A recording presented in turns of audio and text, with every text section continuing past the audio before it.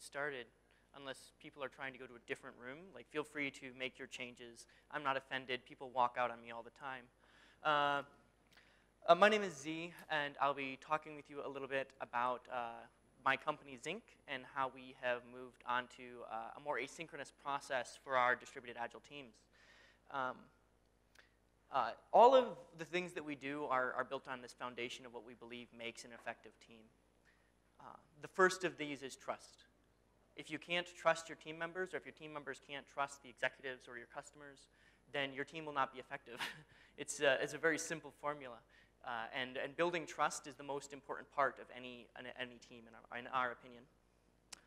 The second is respect. Um, people who respect one another do better work. Uh, if I can respect that you are a diligent person who is doing the best that they can, who can quote the retrospective prime directive right now? Anyone? Yeah, Diana. Uh, so the retrospective prime directive is basically a very simple statement. Uh, I believe that everyone on my team is doing the best they can with the skills, abilities, and experiences that they have. Um, and that is foundational to having an effective team, having this respect for one another. The third is alignment. Um, knowing where you're going uh, is much more important than knowing how you're getting there. Um, I, I have a travel buddy who I sometimes visit, uh, and we just pick a destination, and I just rely on them to figure out how we're going to do things. And we wind up having wonderful adventures because our ideas never work out, but we are aligned on this notion of having a delightful, uh, a delightful trip to Thailand or a, a, a, wonderful jaunt to Taipei or whatever. Um, and so alignment is a really important part of having a productive team, having an effective team. Uh, freedom. Uh, being able to express yourself and do things in the way that you are most comfortable.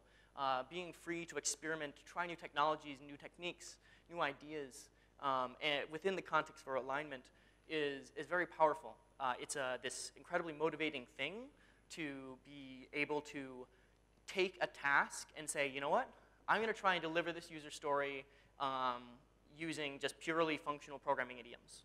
Like no, no uh, object, or, no, not no object-oriented design, but no state mutation in between function calls or anything like that. Um, and having the freedom to do that and to experiment um, is a powerful thing because it means you get new ideas and new practices that get integrated into your teammate, uh, into your team much more quickly.